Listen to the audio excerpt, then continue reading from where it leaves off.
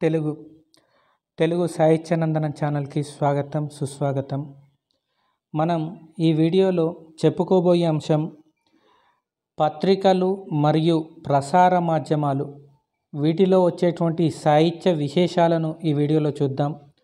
అలాగే ఈ వీడియోలో ముఖ్యాంశాలు ఏంటి అంటే కళ్యాణరావు గారు అంటరాని వసంతం అనే ఒక నవలను రాయడం జరిగింది. ఈ నవల ఏ పత్రికలో ధారావాహికంగా వచ్చింది అనే అంశాలను అనే అంశాన్ని అట్లాగే పత్రికల్లో జనాదరణ పొందినటువంటి రచయితలు ఎట్లాంటి శీర్షికలు నిర్వహించారు? తర్వాత ఎండమూరి వీరేంద్రనాథ్ తులసీ దళము అని చెప్పేసి ఒక రచన చేయడం జరిగింది నవల. ఆ తులసీ దళానికి నవలకు విమర్శగా గంజాయి దళము అని చెప్పేసి ఒక రచయిత్రి రాయడం జరిగింది విమర్శ రాయడం జరిగింది. ఆ గంజాయి దళం అనే రచన చేసిన వారు ఎవరు? అట్లాగే అభ్యుదయ యుగ ఆరంభంలో అభ్యుదయ యుగావిర్భవంలో పత్రికలు ఎట్లాంటి పాత్రను నిర్వహించాయి? ఇలాంటి అనేకమైనటువంటి అంశాలను ఈ వీడియోలో చూద్దాం. వివరాల్లోకి వెళ్ళే ముందు నా ఛానల్కి కొత్తగా ఎవరైతే వచ్చారో వారు సబ్స్క్రైబ్ చేయండి. అలాగే ఈ వీడియో చూస్తున్న వాళ్ళు ఇంకా సబ్స్క్రైబ్ చేయని వాళ్ళు ఎవరైతే ఉన్నారో వాళ్ళు కూడా సబ్స్క్రైబ్ చేయవలసిందిగా కోరుతున్నాను. ఇక వివరాల్లోకి వెళ్తే మొట్టమొదటగా పత్రికల యొక్క నేపథ్యాన్ని కనుక చూస్తే పత్రికలు ప్రసార మాధ్యమాలు ఏవైతే ఉన్నాయో అవి సాహిత్యానికి కూడా మధ్య సంబంధం ఉన్నది. సంబంధం ఏంటి అనేది మనం తెలుసుకోవాలి. అట్లాగే రోజువారీ సమాచారం అందించే మీడియాకు సాహిత్యం సంబంధం ఉంటుందా? ఉంటే ఎట్లాంటి దశల్లో మార్పు ఉంటుంది? అందుకు కారణాలు ఏంటి సాహిత్య వ్యాప్తిలోను అవ్యాప్తిలోను మీడియాకు ఉండేటువంటి పాత్ర ఏంటి? ఇలాంటి అంశాలు తీసుకుందాం. మొట్టమొదట తొలి దశలో తెలుగు పత్రికలు స్థాపించిన వారందరూ కూడా వచ్చేసి మామూలు వ్యక్తులు కాదు. వారంతా కూడా సాహిత్య ప్రముఖులు. ఇంకా ఉదాహరణ చూసుకుంటే సాహిత్యంలో అగ్రగణ్యులుగా పేరొందినటువంటి కందుకూరు వీరేశలింగం గారు వివేకవర్ధిని అనే పేరుతోని వచ్చేసి ఒక పత్రికను స్థాపించడం జరిగింది. మిమ్మల్ని ఇక్కడ అడుగుతారు వివేకవర్ధిని అనే పత్రికను స్థాపించింది ఎవరు అని? కందుకూరి వీరేశలింగం. వీరు ఈ పత్రిక కోసం ఈ పత్రిక ద్వారా స్త్రీల కోసం ప్రారంభించే స్త్రీల కోసం వాళ్ళ సంఘ సంస్కరణ కోసం ఉపయోగించడం జరిగింది. అట్లాగనే కందుకూరి వీరేశలింగం గారే స్త్రీల కోసం సతీ హితబోధిని అని చెప్పేసి ఒక పత్రికను స్థాపించారు. స్త్రీల కోసం కందుకూరి వీరేశలింగం ప్రారంభించినటువంటి పత్రిక ఏది అని అడుగుతారు? సతీ హితబోధిని. ఇవన్నీ కూడా సామాన్య జనానికి తెలిసేలా ప్రహసనాలు పద్యాలు కథలు ఇలాంటి రూపంలో అందించేవారు. అట్లాగే భాష విషయం పైన ప్రముఖ కవులతోని వాదోపవాదాలు కూడా ఈ పత్రికలు సాధనంగా ఉంటుండే. ఉదాహరణకు వీరేశలింగం పంతులు అట్లాగే కొక్కొండ వెంకటరత్నం పంతులు. వీళ్ళు ఎప్పుడూ కూడా పరస్పరం పోటీపడి పత్రికలు నడుపుకోవడం జరిగింది. ఈ పత్రికల్లో పురోగామి అట్లాగే తిరోగామి వాదనలు కూడా వెలువడేవి. ఇక చిలకమర్తి లక్ష్మీ నరసింహం గారు ఒక నవల ఉన్నది. అదే రామచంద్ర విజయము అని చెప్పేసి. ఈ రామచంద్ర విజయం చింతామణి పత్రికా పోటీల్లో గెలుపొందడం గమనార్హం. చూడండి నవలల్లో వచ్చేసి పత్రికలు నవలా నిర్వహణ కూడా చేశాయి. అందులో అముద్ర చింతామణి అని చెప్పేసి ప్రముఖంగా మనకు తెలుస్తుంది. రామచంద్ర విజయం అనే నవల రచించింది ఎవరని అడుగుతారు? చిలకమర్తి లక్ష్మీ నరసింహం. ఇది ఏ పత్రికల్లో బహుమతి పొందింది అంటే చింతామణి అనే పత్రికల్లో బహుమతి పొందింది. తెలుగులో మొట్టమొదట నవలలు అనేవి నవలలు వెలువడ్డాయి. ఆ తర్వాతనే కథలు వచ్చాయి. ఇక కథ గురించి చెప్తే తెలుగులో తొలి కథగా చెప్పబడుతున్నది దిద్దుబాటు. తెలుగు కవిత్వానికి మలుపు తిప్పినటువంటి ముచ్చల సరాలు గురజాడ రచించినటువంటివి కూడా దిద్దుబాటుతో పాటు ఈ ముచ్చల సరాలన్నీ కూడా ఆంధ్ర భారతి అనే పత్రికల్లో ప్రచురితమయ్యాయి. ఇక్కడ చూడండి దిద్దుబాటు ఏ పత్రికల్లో ప్రచురితం అయ్యింది అని అడుగుతారు. అది ఆంధ్రభారతి అట్లాగే ముత్యాల సరాలు మొట్టమొదట అది ఏ పత్రికల్లో ప్రచురితం అయ్యాయి అని అడిగారు. అది కూడా ఆంధ్రభారతి ఈ రెండే కాదు గిడుగువారి పత్రికల ప్రాధాన్యాన్ని గుర్తించిన వారు అట్లాగే గిడుగు రామూర్తి వ్యవహార భాషానికి పో పోరాటం చేసింది ఇదంతా కూడా పత్రికల ద్వారానే మాధ్యమాల ద్వారా చేయడం జరిగింది. ఇక గురజాడ రచించినటువంటి కన్యాశుల్కంతో సహా ఆ రచనలపై వచ్చిన సమీక్షలు అన్నీ కూడా వచ్చేసి పత్రికల్లో వచ్చాయి. ఈ విధంగా పత్రికలు ఎప్పటికప్పుడు కూడా ప్రాధాన్యత ఉన్న అనేది సంతరించుకోవడం జరిగింది ఆ కాలంలో. రాష్ట్రంలో తొలి రాజకీయ ఖైదీ వచ్చేసి గాడిచెర్ల సర్వోత్తమరావు. ఈ గాడిచెర్ల హరి సర్వోత్తమరావు జైలు శిక్ష శిక్షకు ముందుగాల స్వరాజ్య పత్రికల్లో ఆయన అరరే ఫిరంగి క్రూర వ్యా వ్యాగ్రమ అని చెప్పేసి తెల్లదొరలను నిలదీసి ఒక సంపాదకీయం రాయడం జరిగింది. ఇక్కడ అడుగుతారు అరరే ఫిరంగి క్రూర వ్యాగ్రమ అని చెప్పేసి ఈ మాటనన్నది ఎవరు అంటే గాడిచెర్ల సర్ హరిసర్వోత్తమరావు గారు. అది ఏ పత్రికలు అన్నాడు అంటే స్వరాజ్య పత్రిక అని చెప్పేసి పత్రికలు అనడం జరిగింది. ఇక కాశీనాథన్ నాగేశ్వరరావు గురించి చెప్పాల్సిన అవసరం లేదు. వీళ్ళు వీరు వచ్చేసి భారతి అనే పత్రికను స్థాపించడం జరిగింది. అట్లాగే ఆంధ్ర పత్రికను కూడా స్థాపించారు. రచయితల పాలిట కామధేనులాగా కాశీనాథన్ నాగేశ్వరరావు పనిచేయడం జరిగింది. సాహిత్యానికి అట్లాగే సమాజానికి సమాచార సాధనలకు మధ్య గల సంబంధానికి ఎన్నో ఉదాహరణలుగా పత్రికలు నిలిచాయి. దేశాన్ని ఉరుతలుగించినటువంటి శ్రీశ్రీ గేయాలు కూడా చిన్న చిన్న పత్రికల్లో మొట్టమొదట వెలువడ్డాయి. వీరు రచించినటువంటి దేశ చరిత్రలు శ్రీశ్రీ రచించినటువంటి దేశ చరిత్రలు ఆంధ్రశిల్పి అనే ఒక నాటకంలో భాగంగా రావడం జరిగాయి. ఇక్కడ అడుగుతారు మిమ్మల్ని శ్రీశ్రీ రచించినటువంటి దేశ చరిత్రలు అని చెప్పేసి కవిత మొట్టమొదట వచ్చేసి ఏ దేంట్లో వచ్చింది అని చెప్పేసి ఇది ఆంధ్రశిల్పి అనే నాటకంలో భాగంగా రావడం జరిగింది. తర్వాత శ్రీపాద సుబ్రహ్మణ్యం నడిపిన పత్రిక ఏది అని అడుగుతారు? శ్రీపాద సుబ్రహ్మణ్యం ప్రబుద్ధాంధ్ర అని చెప్పేసి పత్రిక నడిపారు. అట్లాగే వీణ అనే పత్రిక నడిపింది ఎవరని అడుగుతారు? పాటిబండ్ల మాధవ శర్మ వీణ అనే పత్రిక. ఈ వీణ అనే పత్రికలోనే చెల్లెం మ్యూజింగ్స్ అనేవి రావడం జరిగింది. ఇక్కడ మిమ్మల్ని అడుగుతారు చెల్లెం మ్యూజింగ్స్ ఏ పత్రికల్లో ప్రచురితమయ్యాయి? అది వీణ అనే పత్రికల్లో. తర్వాత వాడుక భాష కోసం కృషి చేసినటువంటి వ్యక్తుల్లో తాపీ ధర్మారావు గారు ఒకరు వ్యవహారిక భాషల్లో. ఈ వ్యవహారిక భాషలో నడిపిన పత్రిక ఏది? తాపి ధర్మారావుది అంటే జనవాణి అని చెప్పేసి. ఏంటది? జనవాణి అని చెప్పేసి. ఇక వీటితో పాటుగా కొన్ని పత్రికలు ఉన్నాయి. ఆ తల్లావుజ్జల శివశంకర శాస్త్రి గారు సాహితీ అనే పత్రికను సాహితీ అనే పత్రిక నడిపింది తల్లావుజ్జల శివశంకర శాస్త్రి. తర్వాత శ్రీశ్రీ స్నేహితుడైనటువంటి కొంపెల్లి జనార్దన్ రావు గారు ఉదయని అని చెప్పేసి ఉదయని పత్రిక. తర్వాత సామినేని ముద్దుకృష్ణ వీరు జ్వాల అనే పత్రికను నడిపారు. జ్వాల. సురవరం ప్రతాప్ రెడ్డి తెలుగు అనే పత్రికలు నడిపారు. ఈ పత్రికలన్నీ కూడా తెలుగు సాహిత్యానికి ఇనలేనైనటువంటి సేవం చేయడం జరిగింది. ఇక చక్రపాణి దేవదాసు నవలానువాదం కూడా మొట్టమొదట ఆంధ్రప్రభలో కూడా ఆంధ్రప్రభలో రావడం జరిగింది.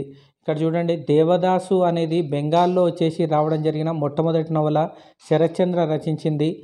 ఆ దేవదాసుకు తొలి అనువాదం ఏది అంటే తొలి అనువాదం చేసిన రచయిత ఎవరు అని అడుగుతారు? అది చక్రపాణి అనే రచయిత. ఈ చక్రపాణి రచించినటువంటి దేవదాసు నవల అనువాదంకు ఏ పత్రికలో వచ్చింది మొదట అంటే దేవదాసు అనే పత్రిక. తర్వాత శ్రీశ్రీ షష్ఠి పూర్తితోని అరవై సంవత్సరాలు నిండిన సందర్భంగా పత్రికలు అప్పుడు చాలా వరకు శ్రీశ్రీ గురించి చెప్పడం జరిగింది. అట్లాగనే విరసం పుట్టడం జరిగింది. ఈ క్రమంలో వచ్చేసి పత్రికల పాత్ర కూడా పెరిగింది. ఇలాంటి సమయంలో వచ్చినటువంటి పత్రికల్లో ప్రధానంగా చెప్పాల్సింది రాచమల్లు రామచంద్రారెడ్డి గారి సంవేదన అనే పత్రిక. ఏం పత్రిక? సంవేదన. సంవేదన పత్రిక సంపాదకులు ఎవరు అంటే రాచమల్లు రామచంద్రారెడ్డి. తర్వాత వరంగల్లో వచ్చేసి వరవర్రావు వివిధ సాహిత్య మిత్రులు కలిపి సృజన అనే పత్రికను సృజన అనే పత్రికను వచ్చేసి ప్రారంభించడం జరిగింది. ఈ సృజన అనేది పత్రిక కనుక చూసుకుంటే ఇది విప్లవ పత్రికగా పేరు పొందడం జరిగింది. ఆ తర్వాత శ్రీశ్రీ గారు శ్రీశ్రీ గారి కవిత్వం పైన మిరియాల రామకృష్ణ మిరియాల రామకృష్ణ ఒక థీసెస్ రాయడం జరిగింది ఎంఫిల్ థీసెస్. అయితే దీన్ని ఇది ఈ థీసెస్ అంతా కూడా అభిమానంతో రాసినట్టు కనిపిస్తుంది అని చెప్పేసి పురాణం సుబ్రహ్మణ్య శర్మ శ్రీశ్రీ కవిత్వం పైన మిరియాల రామకృష్ణ థీసెస్ను ఎండగడుతూ ఒక ధారావాహికను రాయడం జరిగింది. ఇక్కడ మెయిన్గా గుర్తుపెట్టుకోవాల్సింది శ్రీశ్రీ కవిత్వం పైన పరిశోధన చేసిన వారు ఎవరు అని అడుగుతారు మిరియాల రామకృష్ణ ఎప్పుడూ కూడా అడుగుతారు. తర్వాత గురజాడ రచనలపైన అవసరాల అనువాదాలపైన కూడా గురజాడ అప్పారావు రచించిన ర- రచనలన్నీ కూడా అవసరాల సూర్యారావు గారు అనువదించడం జరిగింది. ఈ ఇక్కడ ఇంపార్టెంట్ గుర్తుపెట్టుకోవాల్సింది గురజాడ రచనలు అనువాదం చేసిన వారు ఎవరు? అవసరాలే సూర్యారావు. తర్వాత రంగనాయకమ్మ ముప్పాల రంగనాయకమ్మ రామాయణ వృక్షవృక్షము అని చెప్పేసి ఒక రచన చేయడం జరిగింది. ముప్పాల రంగనాయకమ్మ రామాయణ విశ్వవృక్షం దీనిపైన కూడా చర్చలు బాగా జరిగాయి. తర్వాత శ్రీశ్రీ తన ఆత్మకథను అనంతం పేరుతోనూ చేసి ప్రచురణ చేయడం జరిగింది. ఈ అనంతం అనే అనే అనంతం అనే ఆత్మకథ మొట్టమొదట ఏ పత్రికలో ప్రచురితమైంది అని అడుగుతారు. శ్రీశ్రీ రచించినటువంటి ఆత్మకథ స్వీయ చరిత్ర అనంతం అనేది ప్రజాతంత్రలో ప్రచురితమైంది. ప్రజాతంత్రలో. తర్వాత దేవిప్రియ సహజానంద పేరుతోనొచ్చేసి ప్రజాతంత్రలో రన్నింగ్ కామెంటరీ తరహాలో కవితలు రాసేవాడు. ఇక్కడ దేవిప్రియ ఏ పేరుతోని వచ్చేసి రన్నింగ్ కామెంటరీతో ఏ పేరుతోని శీర్షిక నిర్వహించాడంటే రన్నింగ్ కామెంటరీ. తర్వాత నెల్లూరు పత్రిక అని చెప్పేసి ఉన్నది. నెల్లూరు పత్ నెల్లూరు పత్రిక జమీన్ అని చెప్పేసి ఉంది. ఆ జమీన్ పత్రికల్లో ప్రతి వారం కూడా శివారెడ్డి కేశివారెడ్డి పద్యాలు వెలువడుతుండే. ఇంకా కనుక చూస్తే పంతొమ్మిది వందల డెబ్బై ఐదులో తెలుగు ప్రపంచ మహాసభలకు శ్రీశ్రీ విశ్వనాథ సత్యనారాయణ హాజరు కావడం పైన సాగిన తర్జ తర్జనా భర్జనలో అంటే ఈ వివాదాస్పదమైనటువంటి కవులు అప్పట్లో గతంలో శ్రీశ్రీకి అట్లాగే విశ్వనాథ సత్యనారాయణకి పడదు అని చెప్పేసి వార్తలు ఉంటుండే. ఇలాంటి సమయంలో ఇద్దరు ఒకే వేదిక పైన రావడం అనేది దానిపైన పత్రికలు ప్రధాన పాత్ర పోషించే పోషించాయని చెప్పుకోవచ్చు. ఇట్లా పత్రికలు ఎప్పటికప్పుడు సాహిత్యానికి పెద్దపీట వేస్తూనే ఉండేవి. ఇక శ్రీశ్రీ అయితే విరసం నా చిరునామా శాశ్వత చిరునామా అని అన్నాడు.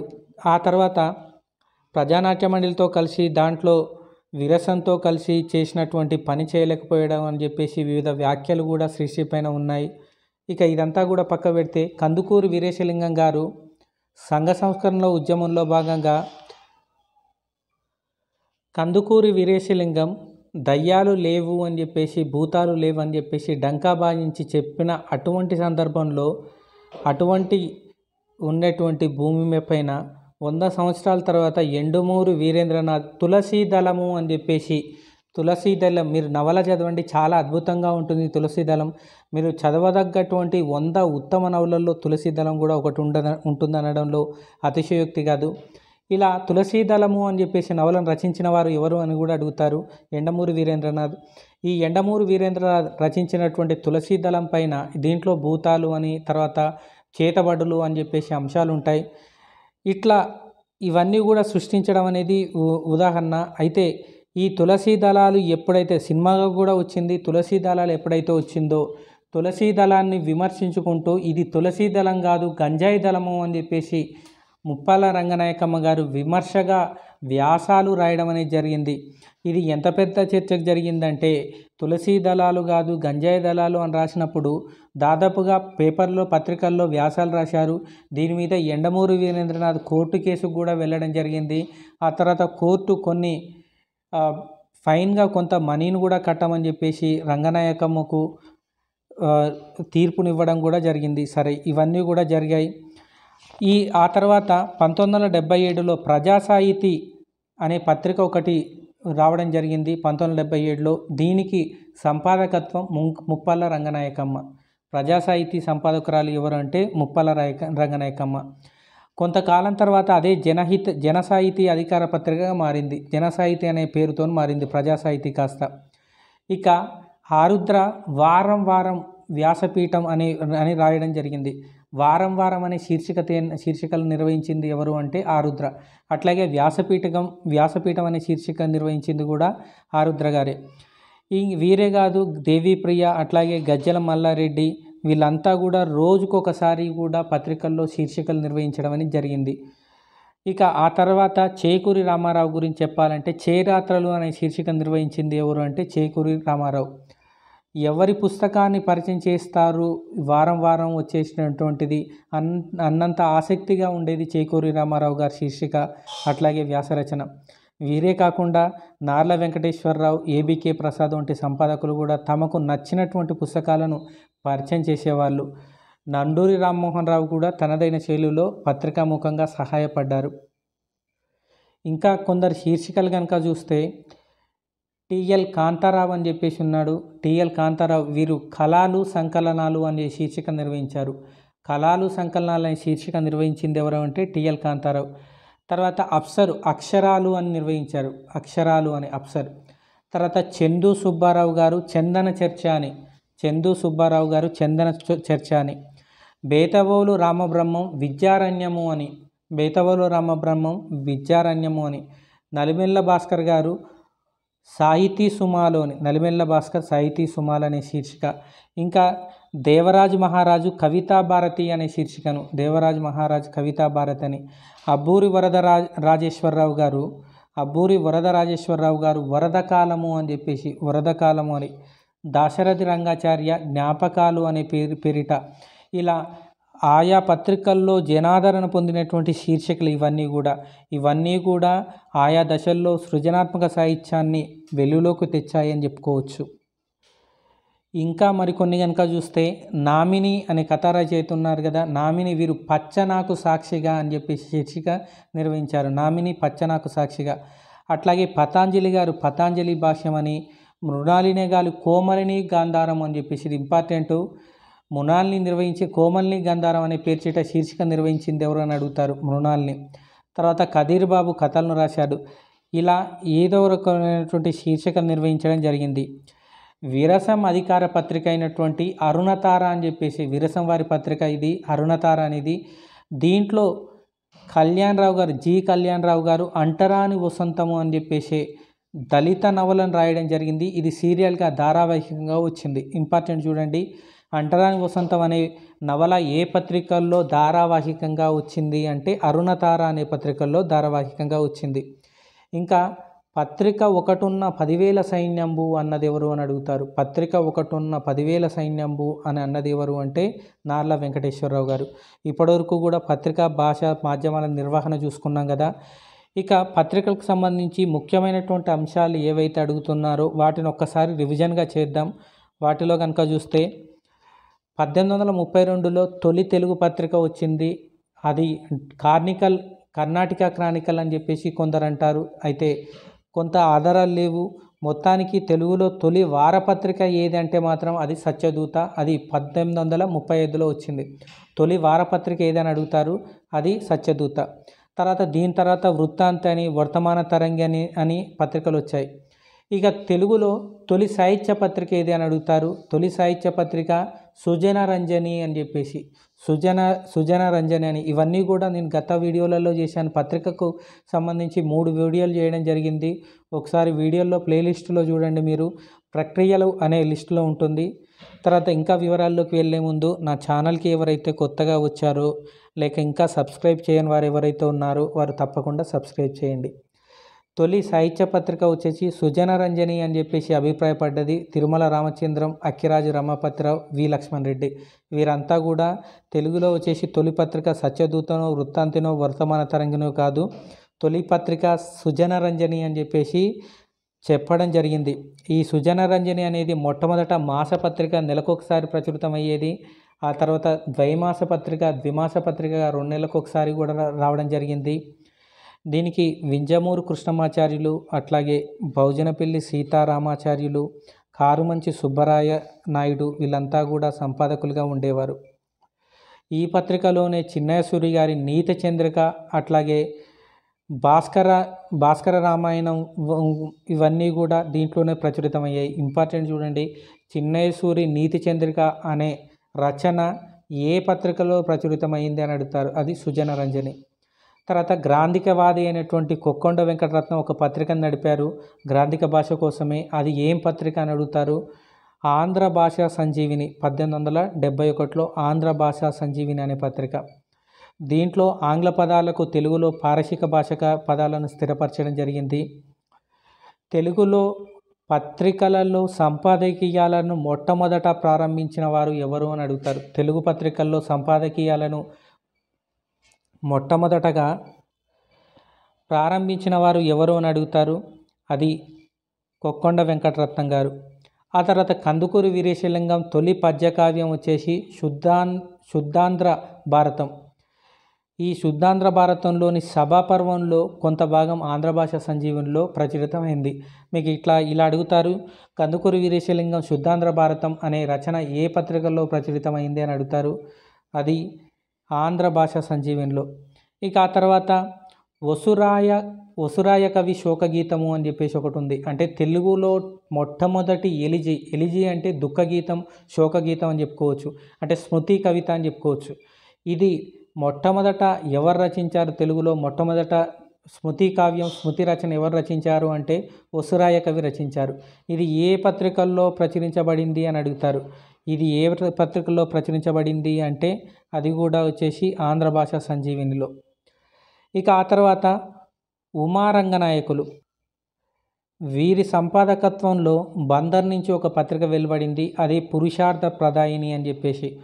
పురుషార్థ ప్రదాయిని సంపాదకులు ఎవరు అంటే ఉమారంగనాయకులు ఇక ఆ తర్వాత పరావస్తు వెంకట రంగాచార్యులు అని ఉన్నారు. వీరు విశాఖపట్నం నుంచి ఒక పత్రిక నెల నెల- నెలకొల్పారు. అదే సకల విద్యాభివృద్ధి సకల విద్యాభివృద్ధిని అనే పత్రిక. దీంట్లో ఎక్కువగా కూడా కవుల చరిత్రలు సంస్కృత అనువాదాలు ప్రచురించబడ్డాయి. సకల విద్యాభివృద్ధిని అనే పత్రిక ఎవరు స్థాపించారు? ఎవరు సంపాదకులు? పరావస్సు వెంకట రంగాచార్యులు ఇక ఆ తర్వాత కందుకూరి వీరేశలింగం గారి పత్రిక వచ్చింది. తర్వాత కందుకూరి వీరేశలింగం అట్లాగే జనానం రాయస రాయస రాయసం శివుడు ఇద్దరూ కలిసి జనానన అని చెప్పేసి ఒక పత్రికను స్థాపించడం జరిగింది. ఇది సాహిత్యానికన్నా సంఘ సంస్కరణకు ఎక్కువగా ప్రాధాన్యత ఇవ్వడం అనేది జరిగింది. తర్వాత కవి జీవితాలకు ప్రాచీన ప్రబంధాలకు ఎక్కువగా ప్రాముఖ్యత ఇచ్చినటువంటి పత్రిక ఏది అని అడుగుతారు? కవి జీవితాలకు ప్రాచీన ప్రబంధాలకు ఎక్కువగా ప్రాధాన్యత ఇచ్చినటువంటి పత్రిక ప్రబంధ కల్పవల్లి అని ప్రబంధ కల్పవల్లి పేరులోనే ఉంది ప్రబంధాలు అని. పద్దెనిమిది వందల ఎనభైలో దీనికి సంపాదకులు ఎవరు అంటే గురజాడ శ్రీరామూర్తి గారు. ఇది పెద్దాపురం నుంచి వెలువడేది. గురజాడ శ్రీమా శ్రీరామమూర్తి ప్రబంధ కల్పవల్లి. ఇక ఆ తర్వాత దీంట్లోనే ఈ ప్రబంధ కల్పవల్లిలోనే ప్రబోధ చంద్రోదయం తిమ్మభూపాలుని కృష్ణ విజయం ఇవన్నీ కూడా ప్రచురించబడ్డాయి. ఇంపార్టెంట్ గుర్తుపెట్టుకోండి. ప్రబోధ చంద్రోదయం ఏ పత్రికల్లో ప్రచు ప్రచురించబడింది అని అడుగుతారు? ఏ పత్రికలో అంటే అది ప్రబంధ కల్పవల్లిలో ప్రచురించబడింది. ఈ శ్రీరామమూర్తి కంటే ముందుగాలనే కందుకూరి వారు కందుకూరి కంటే ముందుగాలనే శ్రీరామమూర్తి ఇంగ్లీష్ నాటకాలను అనువదించడానికి కోరుకున్నారు. మర్చెంట్ ఆఫ్ వీనిస్ నాటకాన్ని ఈ పత్రికల్లోనే అనువదించారు ఆంధ్రీకరించారని చెప్పేసి తిరుమల రామచంద్ర గారు పేర్కొనడం జరిగింది. ఇక ఆ తర్వాత పద్దెనిమిది వందల ఎనభై రెండులో పులిపుర్తి తాతయ్య అని చెప్పేసి ఒక అతను ఉన్నాడు. పులిపుర్తి తాతయ్య అని. వీరి సంపాదన వీరి సంపాదకుడిగా వచ్చేసి కాకినాడ నుంచి ఒక పత్రిక వెలువడింది. అదే కళానిధి అనే మాసపత్రిక. కళానిధి అనే సంపాదకులు ఎవరు అంటే కళానిధికి పులిపుర్తి తాతయ్య ఎయిటీన్ ఎయిటీ టూ. తర్వాత నవరాల నవలా రచనలకు పోటీలను ప్రవేశపెట్టినటువంటి మొట్టమొదటి పత్రిక తొలి పత్రిక ఏది అంటే అది చింతామణి. ఈ చింతామణి అనేది ఎయిటీన్ నైంటీ త్రీలో ఎయిటీన్ నైంటీ త్రీలో నియమ నిబంధనలతోని నవలకు ప్రచారం కల్పించింది.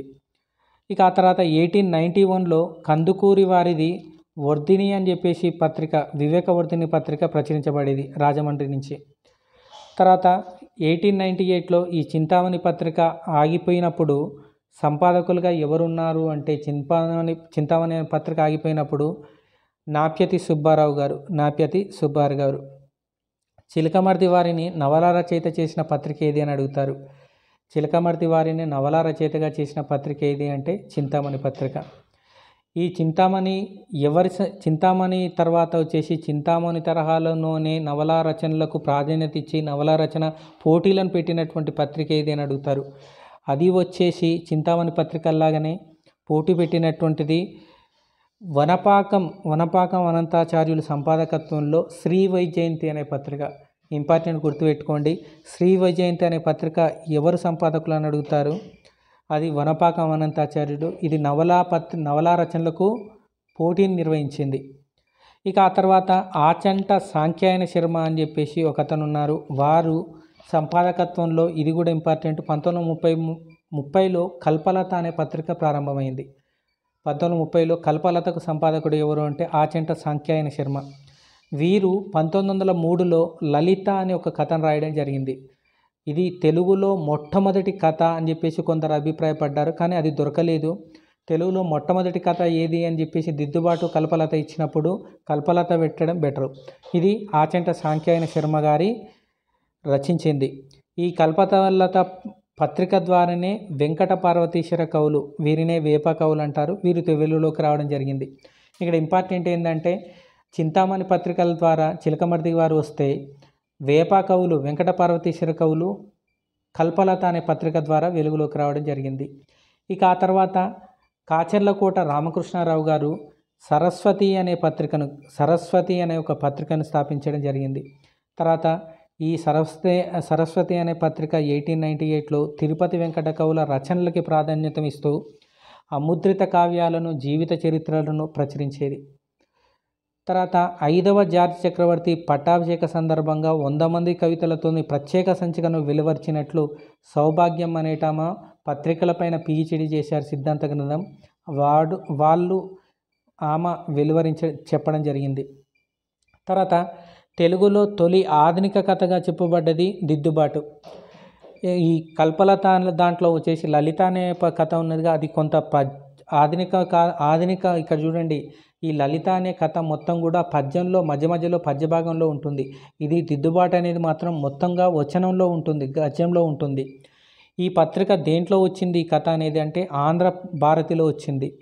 ఇక ఆ తర్వాత పంతొమ్మిది వందల పదిలో ఒక పత్రిక ప్రారంభమైంది మంచిలీపట్నం నుంచి. అయ్యంకి అయ్యంకి వెంకటరమణయ్య ముట్నూరు కృష్ణారావు గారి సంపాదకత్వంలో ఆ పత్రికనే ఆంధ్రభారతి పంతొమ్మిది వందల పదిలో.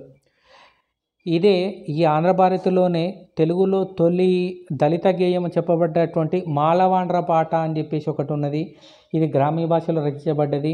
ఈ మాలవాండ్ర పాట అనేది ఏ పత్రికల్లో ప్రచురించబడ్డది అని అడుగుతారు ఆంధ్రభారతిలో తర్వాత గిడుగువారు వాడుక భాష కోసం కృషి చేసినటువంటి పత్రిక ఏది అంటే తెలుగు అనే పత్రిక. దీనికి వ్యతిరేకంగా నడిపిన పత్రిక ఏది అని అడుగుతారు? అదే వజ్రాయుధం పత్రిక. దీనికి సంపాదకులు ఎవరు అంటే శ్రీపాద సుబ్రహ్మణ్య శాస్త్రి. తర్వాత ప్రాచీన సాహిత్యానికి గ్రాంధీ సాహిత్య భాషకి ముఖ్యంగా విమర్శకి సేవ చేసినటువంటి పత్రిక ఏది అంటే ఆంధ్ర సాహిత్య పరిషత్ పత్రిక. Andhra Sahitya Parishat Patrika journal of the the Telugu academy అని చెప్పేసి. దీనికి పిఠాపురం రాజా బహదూర్ గారు ప్రధాన పోషకులుగా ఉండేవాళ్ళు. మొట్టమొదట ఇది త్రైమాసికగా తర్వాత మాసపత్రికగా వెలువడం జరిగింది. ఆంధ్ర సాహిత్య ఆంధ్ర సాహిత్య పరిషత్ పక్షాన వెలువడినటువంటి పత్రిక ఏది అని అడుగుతారు? ఆంధ్ర సాహి సాహిత్య పరిషత్ పక్షాన సంస్థ పక్షాన వెలువడినటువంటి పత్రిక ఏది అంటే పంతొమ్మిది వందల పదమూడులో వెలువడ్డటువంటి ఆంధ్ర సాహిత్య పరిషత్ పత్రిక. ఇక ఆ తర్వాత పంతొమ్మిది వందల పంతొమ్మిదిలో ప్రపంచ యుద్ధం సందర్భంగా కాగితానికి కరువు రావడంతో ద్వైమాస పత్రికగా ఈ పత్రిక అనేది వెలువడింది. తర్వాత జయంతి రామయ్య పంతులు ప్రధాన సంపాదకత్వాలు పోషించారు దీనికి ఈ పత్రికకు ఆంధ్ర సాహిత్య పరిషత్ దానికి తర్వాత కొత్తపల్లి సూర్యారావు గారు నిర్వాహకులుగా ఉన్నారు. తర్వాత తర్వాత పత్రిక నవ్య సాహిత్యోద్యమానికి అండగా నిలిచిన పత్రిక ఏది అంటే సాహితీ అనే పత్రిక. ఇది సాహితీ సమితి పక్షాన వెలువడింది. గతంలో ఇదంతా కూడా చెప్పాను కాబట్టి త్వరగా చెప్పుకుంటూ వెళ్తాను. తర్వాత తల్లావొజ్జిల శివశంకర్ శాస్త్రి తెనాల నుంచి ఒక పత్రిక నడిపారు. సభాపతిగా పేరొందినటువంటి వీరు వ్యవహార రచనలకు ప్రాధాన్యత ఇవ్వడం జరిగింది. అదే త్రిలింగ అనే పత్రిక త్రిలింగ అనే పత్రిక తల్లా ఉజ్జల శివశంకర శాస్త్రి. త్రిలింగ అనుకుంటా ఒకసారి చెక్ చేయండి. తర్వాత అఖిరాజు ఉమాకాంతం గారు తెలుగు దేశ వాన్మయ పత్రికను నైన్టీన్ ట్వెల్వ్లో తెలుగు దేశ వాన్మయ పత్రిక నైన్టీన్ ట్వెల్వ్లో. తర్వాత రాజమండ్రి నుంచి ఆంధ్ర సర్వస్వం అని తుణుకు నుంచి సారస్వత సర్వస్వం అనే పత్రికలు కూడా వెలువడ్డాయి. నైన్టీన్ ట్వంటీలో శ్రీపాద సుబ్రహ్మణ్యం గారిది అభ్యుదయ అనే పత్రిక తర్వాత ప్రబుద్ధాంధ్ర పత్రిక ఈ రెండు కూడా నడిచాయి. కాకపోతే ఈ రెండు పత్రికలు నడిచాయి కానీ ఆ పత్రికలు ఏవి కూడా తర్వాత లభ్యం కాలేవు అని చెప్పేసి చెప్తారు. శ్రీపాద సుబ్రహ్మణ్య శాస్త్రి సాహిత్యం కోసం ప్రచారం చేసినటువంటి మంచి పత్రిక ప్రబుద్ధాంధ్ర. ఇక ఆ తర్వాత ఈ పత్రిక అనేది శ్రీపాద పత్రిక ప్రబుద్ధాంధ్ర అనే ప్రబుద్ధాంధ్ర అనే పత్రిక వాడుక భాష కోసం అనేది కృషి చేసింది జనవాణి తెలుగు అట్లాగే ప్రబుద్ధాంధ్ర శ్రీపాద వారి హిందీ వ్యతిరేకతను పత్రికల్లో వ్యాసాల్లో పత్రిక వ్యాసాలలో మనం తెలుసుకోవచ్చు. తర్వాత తూర్పుగోదావరి జిల్లా రాయవరం నుంచి ఒక పత్రిక వెలువడ్డది అదే రెడ్డి రాణి. తర్వాత మద్రాస్ నుంచి పివి రాజమన్నార్ సంపాదకత్వంలో కళ అనే ఒక పత్రిక కూడా వెలువడింది కళ. తర్వాత మద్రాస్ నుంచి విజయబాపిరాజు వీరి సంపాదకత్వంలో వెలువడినటువంటి పత్రిక జయంతి విశ్వనాథ బాపిరాజు. విశ్వనాథ సత్యనారాయణ అడవి బాపరాజు వీరి సంపాదకత్వంలో వెలువడిన పత్రిక జయంతి పత్రిక. నవ్య సాహిత్య పరిషత్ వారి పత్రిక ఏది అని అడుగుతారు? అది సఖి అనే పత్రిక. తర్వాత వావిళ్ళ వారిది ఇంతకుముందు వేరే పేరు చెప్పాను కదా వావిళ్ళ వారిది త్రిలింగ అనే పత్రిక. వావిళ్ళ వారు నడిపిన పత్రిక. తర్వాత రాయలసీమల నుంచి పప్పు రామాచార్యులు గారు సాధన అనే పత్రికను నడిపారు. నవల అనువాదాలకి ప్రా ప్ర- నవల అనువాదాలకి ప్రహసనాలకు ప్రాధాన్యత ఇస్తూ ఒక పత్రిక వచ్చింది. అదే శారద అనే పత్రిక. దీనికి సంపాదకులు కౌత శ్రీరామ శాస్త్రి గారు కౌత శ్రీరామ శాస్త్రి. తర్వాత పంతొమ్మిది వందల ఇరవై నాలుగులో ఇరవై మూడులో ఈ శారదా పత్రిక వచ్చింది. ట్వంటీ ఫోర్లో భారతి అనే పత్రిక వచ్చింది. కాశీనాథన్ నాగేశ్వరరావు గారు సంపాదకులు. ఆ తర్వాత బసవరాజు వెంకటప్పారావు గారు ఈ పత్రిక సహాయ సంపాదకులుగా ఉండేవారు. తర్వాత పందిరి మల్లికార్జునరావు గారు ఇది మొన్న నెట్లో వచ్చింది పందిరి మల్లికార్జున గారు నడిపిన పత్రికలు ఏవి అని చెప్పేసి పందిరి మల్లికార్జున గారి పత్రికలు కిన్నెర అనే పత్రిక నడిపారు కిందర కిన్నెర అని. తర్వాత దక్షిణ భారత హిందీ నైన్టీన్ సిక్స్టీ ఫోర్లో స్రవంతి అనే పత్రిక ఒకటి ఉన్నది. ఇది కూడా స్రవంతి అనే పత్రిక కూడా సీనారే గారి సంపాదకత్వంలో వెలువడింది. సీనారే అట్లాగే వేమూరు రాధాకృష్ణమూర్తి దాశరథి సంపాదకత్వంలో. ఇవే కాకుండా అదే సమయంలో ప్రజాశక్తి అని అట్లాగే నవశక్తి అని జనత అని విశాలాంధ్ర అనే పత్రికలు ఇవన్నీ కూడా ప్రారంభమయ్యాయి. ఇది దాదాపుగా నైన్టీన్ సిక్స్టీ ఆ టైంలో ప్రారంభమయ్యాయి.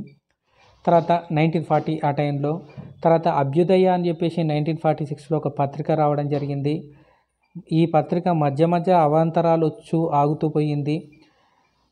ఇక ఆ తర్వాత చాలామంది కూడా పత్రికలు నడిపారు వారిని కనుక గుర్తు చేసుకుంటే పత్రికలు కనుక చూస్తే ఆనందవాణి చిత్రగుప్త సుభాషిణి కవిత అరుణరేఖ ఇవన్నీ కూడా పత్రికలు. సర సారస్వత జ్యోతి అని కరీంనగర్ నుంచి వెలువడింది. సారస్వత జ్యోతి అరుణరేఖ అనేది నెల్లూరు నుంచి వెలువడ్డది. సంవేదన సంపాదకులు రాచమల రామచంద్రారెడ్డి కళాకేలి అనే పత్రిక ఇంపార్టెంట్ ఇది. అవచ్చ సోమసుందర్ గారి సంపాదకత్వంలో వెలువడ్డాయి ఇవన్నీ కూడా పత్రికలే. తర్వాత సృజన అని ఒక త్రైమాసిక పత్రిక వచ్చింది. ఇది విప్లవ భావాలకు పరిమితమైనటువంటి పత్రికగా పేరు పొందడం జరిగింది. ఇక ఆ తర్వాత కనుక చూస్తే ప్రజా సాహిత్య అనే ఒక పత్రిక ఉన్నది. ఇది పోరాటాలకు ప్రజా ఉద్యమాలకు అండగా నిలిచినటువంటి పత్రిక. ఇది ఎన్నో అడ్డంకులను అవాంతరాలను ఎదుర్కొంది. ఇప్పుడు కూడా నడుస్తుంది. ఇది ప్రజా సాహిత్య అనే పత్రిక. దీనికి సంపాదకులు కొత్తపల్లి రవిబాబు అట్లాగే నిర్మలానంద సారథ్యంలో. కొత్తపల్లి రవిబాబు నిర్మల. తర్వాత స్త్రీవాద పత్రికలు వచ్చేసి భూమిక అనే స్త్రీవాద పత్రిక దళితవాద పత్రిక చూపు ఏకలవ్య అనే దళితవాద పత్రికలు. తర్వాత జాతీయ ప్రచారానికి భారతీయ సంస్కృతి పరిరక్షణకి జాతీయ సాహిత్య పరిషత్ ఒక పత్రిక స్థాపించబడింది. అదే నైన్టీన్ సిక్స్టీ సెవెన్లో సాధన అనే పత్రిక. తర్వాత ఆర్విఎస్ సుందరం గారు ఒక పత్రిక కూడా నడిపారు. నైన్టీన్ సెవెంటీ ఎయిట్లో మేకల అనే త్రైమాస పత్రిక మేకల ఆర్విఎస్ సుందరం మేకల అనే పత్రిక.